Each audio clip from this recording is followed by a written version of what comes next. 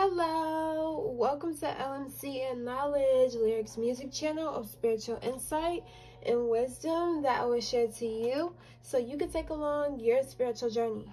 I hope you're having a good day, good night, wherever you're at, and whenever you see this, make sure that you're prayed up and in that light of Jesus. Okay? Okay. So before I get into this message, message, I'll use my shamanic drum to clear the space, cleanse the energy, and we will go from there.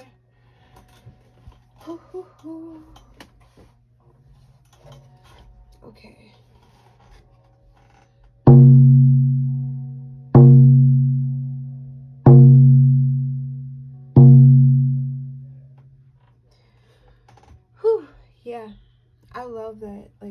Really feel the power of my drum now. Like, things have really been impacting me different ever since I got my drum. But the intuitive message I have for you guys today is you communicating with your guides and God automatically puts you in a higher vibration. So with the first card that we have out that popped out was actually, I was so excited to show you guys this one, but I don't know why this one was with the, when I grabbed the card deck, this is from a different card deck. And um, I'm just looking at it as this light right here that's in the corner, you're able to find your way out of situations because of your spirit guides, because of your connection with the divine, because of the connection with your um, your soul tribe, um, your soul team, soul members that are in the astral planes. Um, you're becoming more aware of their signs. You're becoming more aware of when they contact you, how they speak to you, through you. Um, this could be lost loved ones that's part of your soul tribe, your spiritual team that's helping you ascend and accomplish a very big mission in this lifetime.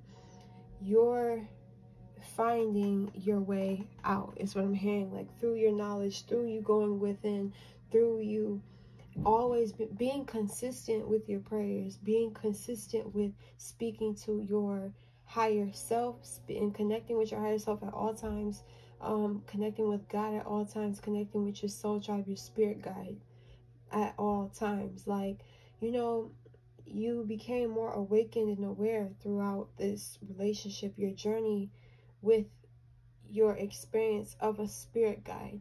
Your spirit guide is also, your spiritual team is also learning from you, learning from your life experience. They're learning how to love you deeper and cherish you deeper, protect you even more because it's so many, it's so much detail with the soul. When you learn the soul or you grow beyond the physical realm with us, a living being human, it's like a totally different set of experiences in life because it's like you're in the background creating a reality. Or protecting or sending signs into it. And it's like your spirit guides were praying like please get my message. Please see my message. Please respond to it. Please act off of our signs type of thing. And that's what you've been doing. So your frequency has been rising. You've been around certain people and they just you feel different. You look different. You glow different. You flow different. You flow to this frequency of life way different than other people because you are it's like rest assured. You are okay. Like they they can tell you uh what is it called when you reassuring reassuring you. Your ancestors and your guides and your spiritual team is reassuring you at all times and it's making you more comfortable with your purpose in this life you know making you more open to um changes, like rapid changes of being at an ultimate low to being at the highest high, you know, with them. So it's like you you've awakened to your spiritual team when you went through a dark night of the soul, when you went through a dark time of your life.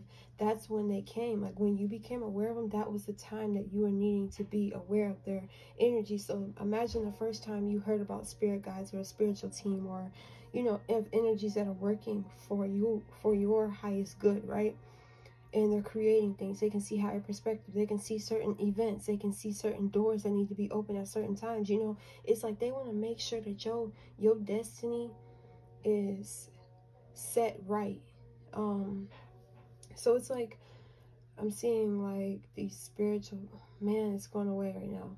Um I'm seeing these like spiritual spirit guides looking at like celebrities' lives. Like you all of our okay, so our soul tribe or our soul team members that work for us at this moment in the spiritual realm, they all have to get a divine yes. Like we can, they look at your reality and they say, if we create this for their reality, is it, can it get um agreed by God or by source? Because if everything has a divine plan, yeah, so everything is already set in stone to an extent but then there's also things and lives and experiences being created on this realm. We want to make sure that you're not, your path, your destiny isn't clashing with somebody else's destiny. You, you know, and some people have, it's an order, you know, order of cycle and just, you have to wait. You know I mean? You're understanding that it takes time for life, big life events to change or a big, it takes time and you have to be patient. But with the foresight and the tea leaves, it's like you can your spiritual team shows you a different perspective on the world and a different perspective of your life and how to um they they show you your future. They give you glimpses of your future. They let you know somebody's intentions before you meet them or they let you know their intentions right when you meet them. It's like you're becoming more aware of your spiritual team when you're out in public i'm hearing you're seeing their signs even stronger out in public when you go to certain places. I'm seeing people who are able to see shadows in their room, able, and it's not nothing negative, but um, this may be for a few people. You know, I might lose people depending on your, if your third eye is open and awakened, and if you've been working, building this connection with your spiritual team, the signs get stronger and your um, intuition gets, it's accurate. It's like, uh, is is very very accurate. Um so with that being said the dice and gamble card so it's like your spiritual team help you make the right take the right risk in life you know? Um they understand life is a risk and they want to make sure you're making these right decisions and you making the decisions as you rolling the, the dice you know? You taking action as you rolling the dice in your destiny and your fate. So um it's just you're you're making sure that you're living for the right reasons now um and your spiritual team is making sure that you are living for the right reasons. Coins in abundance they can help you they can open doors for you. So if it's a passed on loved one or an inheritance or just a spiritual blessing of abundance from your ancestors, something that been needed to be released in your bloodline, it's going to be released with you because of how tapped in you are to your spiritual team, your spirit guides. Everything's going to work for you in your life, for you specifically, okay? Um, it's like everybody around you ain't gonna have they ain't gonna be in tune like you in tune for real you know? You're gonna need to be that messenger. You're gonna need to be that light bearer or the person who can see and interpret things as life goes. So it just happened to me today. I'm looking okay so it's one of these lights in our house that it take it, it's like a delay when i turn on the lights. It's a delay. So you hear what i say? Delay that keyword. And then my brother kept flicking it on and off, on and off, and I'm like, Jordan, just, just, just please stop flicking it on and off. And he, I was like, see, you gotta wait for it. Sorry, y'all, my mind was going somewhere. You have to wait for it to turn on. It's delayed, right? And that little thing just shows how impatient we are. Because you could, the yes, the light is delayed a little bit, but it still turns on and um, another thing is he wanted it on when he wanted it on and it wasn't turning on. He had to wait for it to turn on. And it just shows how impatient we are. So you see how that little thing of a light, just imagine you, we got lights in our house all the time, right? But when that, the, when the lights come out and you got to sit there for a couple days because of that, that's how I was just, I was recently going on, going with that or enduring that because, um, of the tornadoes that came in and knocked the power out. So it's like you you your instinct is quickly to turn on the light. and I kept doing it even though the lights were off for hours, right? And it's crazy how your mind, it's all a mind thing.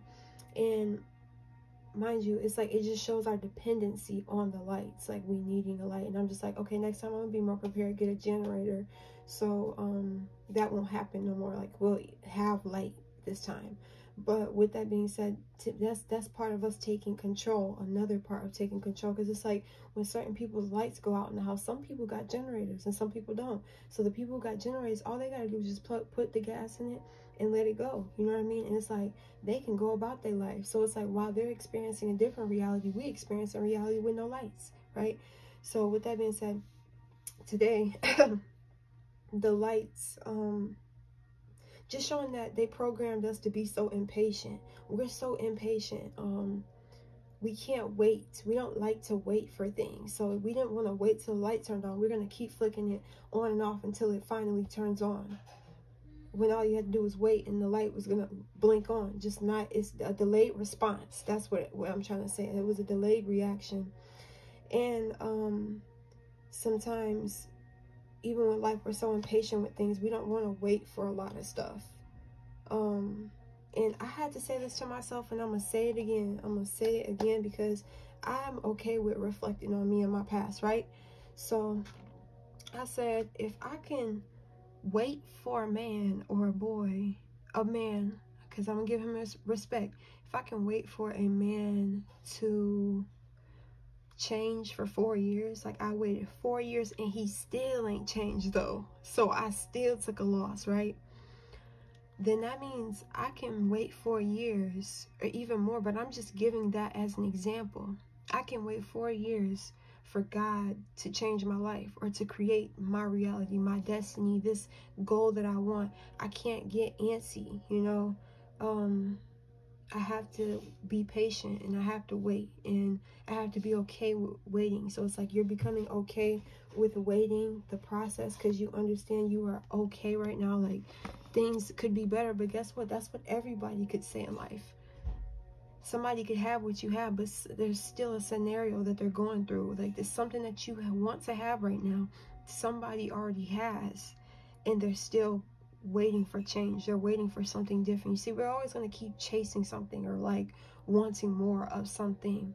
Um, cause we're just, I don't want to say like greedy souls in a bad way, but it's like we search for more purpose, more experience, and more life. Um, for more elevation if you're with God, you know, and you're in that, that's where you ride, your energy frequency rides on the God wavelength and not like inorganic being wavelength.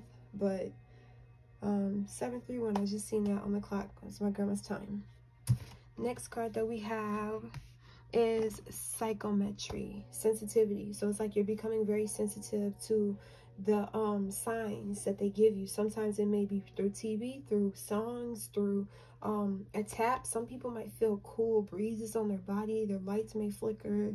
Um, it may be really selective too. Like, I mean, real customized. Your your spiritual signs, your your communication with the divine is definitely customized for you. So it's not going to be relatable to everybody else. Er, it's just very sacred. Your connection with the divine is sacred and you see the importance of having spirit guides. You know that it's you need to talk to them every day you have an altar or you need to create an altar or you need you have a sacred space that you pray at or you need to have create a sacred space to pray at so right here i just have my little setup this is just one version of my setups but with that being said um one version of my setups and i like to switch it up a lot I really do like to switch it up. So it's not going to be looking like this for long because I just like new things. So maybe you like to switch things up or that's what you need to do. Switch things up around your house. Change the energy of the room. Change the energy of the car by moving things around, having it on a different side. So it's like, for instance, I have this her praying right here i can just put her on the other side you know just quick movements like that or even taking her off and putting some something else right here but um yeah i definitely like to switch it up so yeah that's oh and then the last card that i have for you guys is the black cat good luck so if you've been seeing cats or you see cats anywhere it's definitely a sign for you maybe you do have a cat you have a pet Um, and it's like, or your cat can sense good luck coming to you. If you have a cat, she feels the energy. She feels the change also. Um, you could be sun gazing. I just see like a sun image right here. Good luck. So you're definitely on a winning streak right now. Like you're here to win. You're here to thrive and you need to just stay, keep doing what you're doing, you know? Um, don't let nobody else slow you down, make you less determined. Don't let nobody make you doubt your faith and your purpose and, and your blessings that are coming. Um, know that it is coming. Uh, you're not controlling the future. You're not trying to be so dominant. You're allowing your spirit guides to have input in your life. You're allowing your spirit guides to make decisions for you um, in this reality. So um, you're about to open your you're opening the door of luck right now because you um you communicating with your spiritual team is what gave you that access and unlocking it. You couldn't be you had to be woke. You had to be super fully aware of your spiritual team every second of the day, knowing when they're sending you signs to do certain things, go certain places, don't go certain places. You're allowing the divine to decide for you, and that's when you're getting the best. You're getting the they know they have the best of you. They already have the image. They already know who you're going to be. So you're allowing them to create your reality. You know, uh, you're, you're kind of like taking your hand a little bit off the wheel or you probably got one hand on the wheel and your other spirit guide got the other hand on the wheel you know how it's you can have two or one you got one and they got the other so it's like you you guys are working together you and your spiritual team you and god are working together but that's what i got for you guys bless you I love you guys and I'll see you in my next video. Peace.